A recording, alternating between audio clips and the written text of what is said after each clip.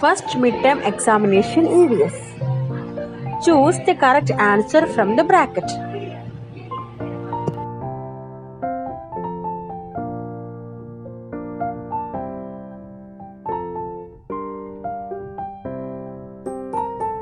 Our eyes help us to see.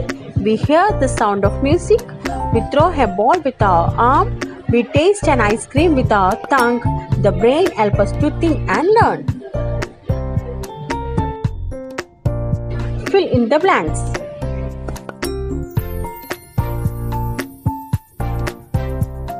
Our body is like a machine. The brain is inside our head. The food we eat goes to the stomach. Bones are hard and strong and give shape to our body.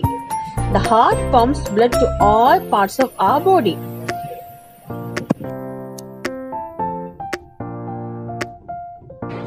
Write whether it is external organ or internal organ.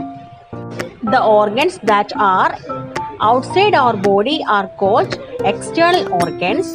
The organs that are inside our body are called internal organs. Leg, external organ, heart, stomach, internal organ, hand, external organ, brain, internal organ, eyes, external organ. State true or false.